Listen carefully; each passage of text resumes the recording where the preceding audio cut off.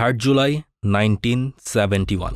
Swadhin Bangla Betar কেন্দ্র, কলকাতার আকাশবাণী বেতার কেন্দ্র এবং বিবিসি থেকে একটা খবর সম্প্রচার করা হয়, যেটা মার্চের শেষ দিক থেকে যুদ্ধ করে যাওয়া মুক্তিযোদ্ধাদের মধ্যে বিরাট আশার সঞ্চার করে। পাকিস্তানি মিলিটারির চারজন স্বাধীনতাকামী বাঙালি অফিসার পালিয়ে মুক্তিযুদ্ধে সরাসরি অংশগ্রহণ করতে যাচ্ছে। তাদের মধ্যে ছিলেন captain Salauddin, captain Shahriar, captain Anam আর সেকেন্ড পাকিস্তান ব্যাটালিয়ানের ক্যাপ্টেন মহিউদ্দিন জাহাঙ্গীর। পঁচিশে মার্চ রাতে এই ঢাকায় কি হচ্ছে সেটা কিন্তু পশ্চিম পাকিস্তানে বসে থাকা বাঙালি অফিসাররা বুঝতেই পারছিলেন না।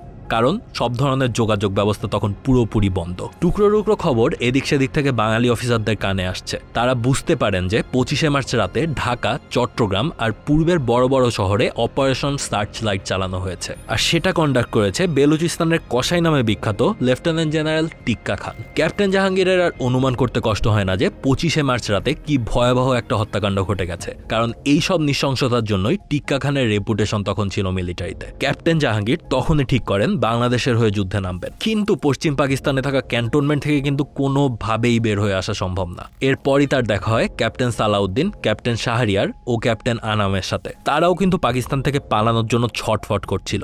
আর এরপরই শুরু হয় তাদের পালানোর পরিকল্পনা।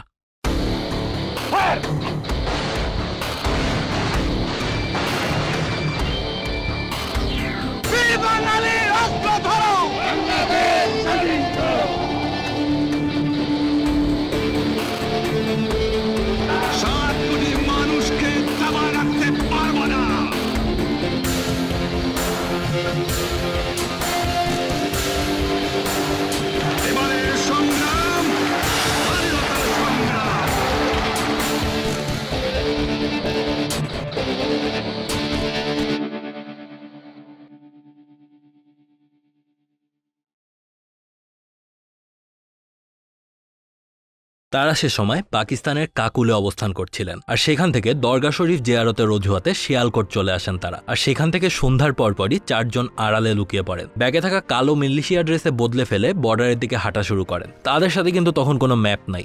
মাথার ভেতরে থাকা ম্যাপ থেকেই তাদের এই দুর্গম বর্ডারটা পাড়ি দিতে হবে। জলাশয়ের ভেতর থেকে ডুবুডুবু পানিতে ভেসে তারা সামনে এগিয়ে গেলেন। ঘুটঘুটে অন্ধকার আর বৃষ্টির জন্য সেই দিনগুলোতে রেঞ্জার পেট্রোলের খপ্পর থেকে অল্পের জন্য বেঁচে ফিরেছিলেন তারা। কিন্তু তাদের পথে শেষ বাধা হয়ে দাঁড়ায় খরস্রোতা মানাওয়ার তাই নদী। কৌশলের সাথে ওই পারে পৌঁছানোর পর তারা চলে যান বিএসএফ এর ক্যাম্পে। আর বিএসএফ এর সহায়তায় তারা সেখান থেকে দিল্লি হয়ে আসেন কলকাতা বিমানবন্দরে, যেখানে তাদের অপেক্ষা করছিলেন colonel M A G Osmani. দশজন শিয়ালকোটে পৌঁছানোর পর থেকে কলকাতা পর্যন্ত এই চারজন বাঙালি অফিসার একই সাথে ছিলেন। কিন্তু এই প্রথমবার তারা বিচ্ছিন্ন হয়ে নিজেদের দায়িত্ব বুঝে নিয়ে আলাদা আলাদা গন্তব্যের উদ্দেশ্যে পাড়ি দেন। ক্যাপ্টেন জাহাঙ্গীরের পোস্টিং করা হয় সাত নম্বর সেক্টরের মেহেদিপুর সাব সেক্টরে এই সাব সেক্টরের দপ্তর ছিল ভারতীয় ভূখণ্ডে। সেখান থেকে মুক্তিযোদ্ধারা বাংলাদেশের সীমান্তে প্রবেশ করে অপারেশন চালাতো। অর্থাৎ মুক্তিযোদ্ধাদের কিন্তু ভারতীয় বর্ডারটা পাস করা লাগতো। এখন চিন্তা করেন, এরকম একটা সিকিউর বর্ডার পাস করার সময় কিন্তু তাদের হাতে যেসব অস্ত্রশস্ত্র ছিল, সেগুলো নামিয়ে তারপরে ম্যাগাজিনগুলোকে আনলোড করে তারপরে যাওয়া লাগতো। খুব স্বাভাবিকভাবে এই জিনিসটা মুক্তিযোদ্ধাদের জন্য একটু হলেও অপমানের ছিল। আর এই কারণে ক্যাপ্টেন মহিউদ্দিন জাহাঙ্গীরের পর ডিসিশন নেয়, তার দপ্তরটা ভারতীয় ভূখণ্ড থেকে সরিয়ে বাংলার মাটিতে নিয়ে আসবেন। দপ্তরের লোকেশন হিসেবে নেওয়া হয় ঐতিহাসিক সোনা মসজিদের একটু পেছনের ভূমিকে, যেখানে গড়ে তোলা হয় ট্রেনিং ক্যাম্প আর ফিল্ড হসপিটাল। এখন সেই সময় কিন্তু এই জিনিসটা আবার পাকিস্তানিদের জন্য বিরাট মানসম্মানের ব্যাপার হয়ে দাঁড়ায়, কারণ ততদিন পর্যন্ত কিন্তু বেশিরভাগ মুক্তিযোদ্ধারাই ভারতীয় মাটিতে থাকতো আর সেখান থেকে যুদ্ধগুলো চালনা করে তারপরে আবার ফেরত যেত ভারতে।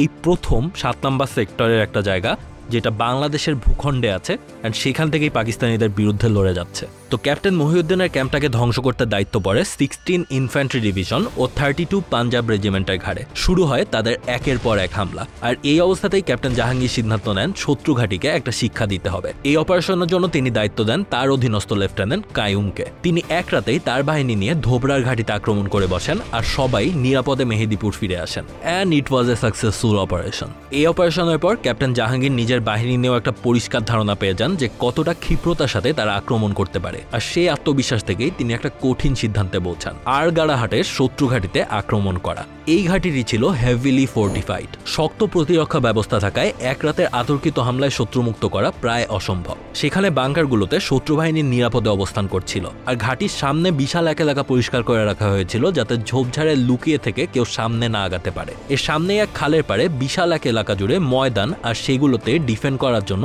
বাংকার আর মেশিন গান পোস্ট করা হয়েছে। আর এই বাংকারগুলো ধ্বংস না করে এই ঘাঁটি নিয়ন্ত্রণ নেওয়া প্রায় অসম্ভব।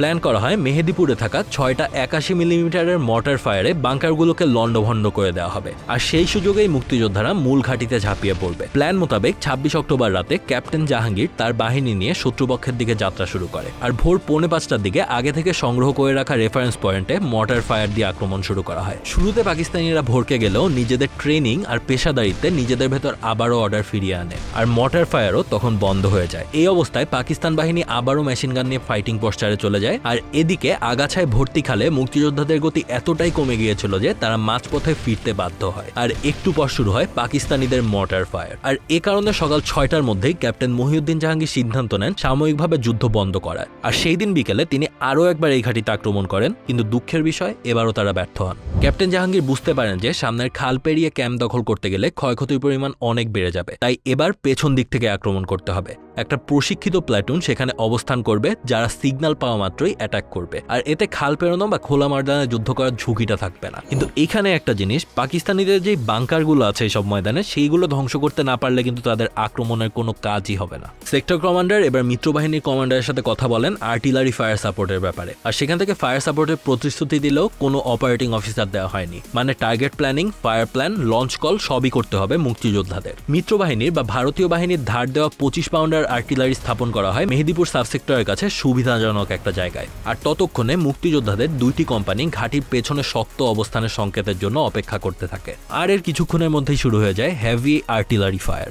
প্রচণ্ড গোলাবর্ষণে পাকিস্তানি বাহিনী এদিক সেদিক ছোটাছুটি করতে থাকে। আর যেই মাত্র ফায়ারিং বন্ধ হয়, তারা আগের মতোই বাংকারে ঘাপটি মেরে বসে থাকে। কারণ তারা ভেবেছিল মুক্তিযোদ্ধারা এইবারও সামনের খাল পেরিয়ে তাদের দিকে আক্রমণ করবে।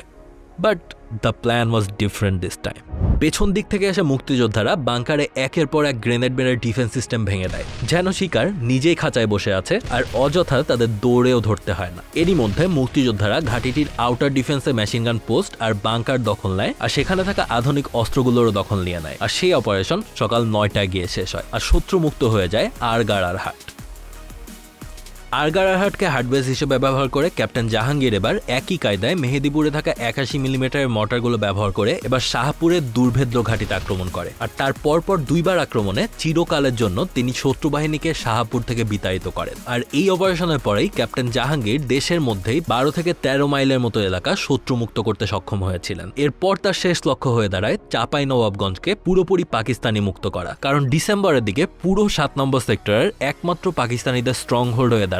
এই চাপাই নবাবগঞ্জ আর সেখানেই দাঁড়িয়েছিল থার্টি টু পাঞ্জাব রেজিমেন্টের সম্পূর্ণ কোম্পানি এতদিনে তারা গোটা চাপাই নবাবগঞ্জে তিন চার কিলোমিটার এলাকা জুড়ে একের পর এক বাংকার বানিয়ে যুদ্ধের প্রস্তুতি নিয়ে রেখেছে। এটা একটা জনবসতিপূর্ণ এলাকা, বিভিন্ন বাড়ির ছাদে মেশিন গান স্থাপন করা স্নাইপার ওয়াচ টাওয়ার বানানো সহ রাস্তাঘাটে অবস্থান নিয়েছে মুক্তিবাহিনীকে প্রতিহত করতে। মানে একদম পিওর আরবান ওয়ারফেয়ার যেটাকে বলে, সেটাই।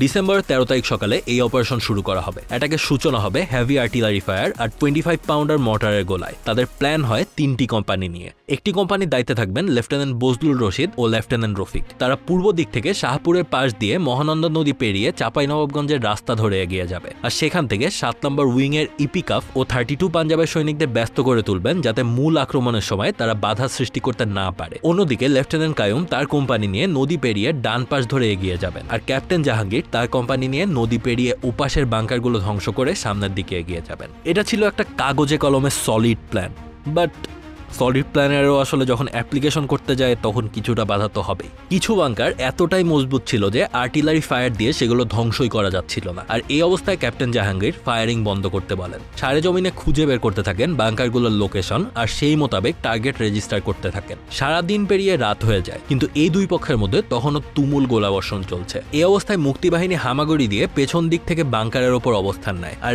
একটা একটা করে গ্রেনেড ভেতরে ফেলতে থাকে। এক এক করে তখন সবগুলো বাংকারই ধ্বংস করা যাচ্ছে। আর এদিকে একটু করে করে চোদ্দই ডিসেম্বর ভোরের আলো ফুটতে শুরু করেছে। কিন্তু তখনও যেই কয়টা বাংকার রয়েছে, তার সবগুলোর অবস্থানই একেবারে শহরের ভেতরে, যেগুলোতে কিন্তু খুবই ইজিলি কোনো আর্টিলারি ফায়ার বা মর্টার শেল ফেলানো যাবে না। স্থানীয়দের সহায়তায় মুক্তিযোদ্ধারা শহরের ভেতরে ঢুকে বাংকারগুলোর লোকেশন মার্ক করতে শুরু করে, আর সেগুলোই ওয়্যারলেসে ক্যাপ্টেন জাহাঙ্গীরের কাছে পাঠিয়ে দিতে থাকে। ক্যাপ্টেন জাহাঙ্গীরও সেই মোতাবেক টার্গেট রেজিস্টার করতে নির্দেশ দেন।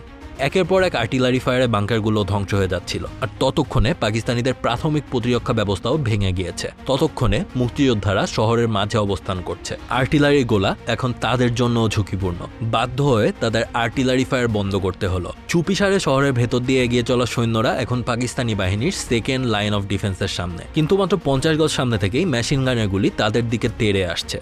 সামনে আগানো মানেই আত্মহত্যা। মেশিন গানের গোলাবর্ষণ শেষ হওয়ার জন্য অপেক্ষায় থাকা ক্যাপ্টেন জাহাঙ্গীর তখন এক অবিশ্বাস্য দৃশ্য দেখতে পান। এক কিশোর মুক্তিযোদ্ধা এক হাতে গ্রেনেড আর এক হাতে সেলফ লোডেড রাইফেল নিয়ে নিচু জায়গা আর ডালপালার আড়ালে বাংকারের কাছে পৌঁছে গিয়েছে। সে নির্ভুলভাবে দুটো বাংকারেই গ্রেনেড নিক্ষেপ করতে সক্ষম হয় আর বাংকারে থাকা মেশিন গান দুটো সাথে সাথেই থেমে যায়। ততক্ষণে সকাল গড়িয়ে দুপুর হয়েছে। তুমুলভাবে যুদ্ধ দুই দিক থেকেই লড়াই চলছে। সামনে এগুতে এগুতে তারা আবারও একটা মেশিন গানের সামনে গিয়ে পড়ে। বাড়ির ছাদ থেকে বাংকার থেকে অজস্র গুলি মুক্তিযোদ্ধাদের দিকে তেড়ে আসছে। এবার ক্যাপ্টেন কাউকে কমান্ড না দিয়েই নিজেই একটু আগে দেখা কিশোরের মতো চলে গেলেন গ্রেনেড হাতে। আর তার অব্যর্থ লক্ষ্যে সেটাও শত্রুর বাংকারাই ছুড়ে মারেন। মুহূর্তের মাঝে ধ্বংস হয়ে যায় আরও একটি বাংকার। আর তিনি সেখান থেকে সরে যাবার আগেই শত্রুপক্ষের একটা বুলেট সোজা তার ডান চোখের পাশ দিয়ে ঢুকে মাথা ছেদ করে বেরিয়ে যায়। আর ওখানেই লুটিয়ে পড়েন দ্য টাইগার।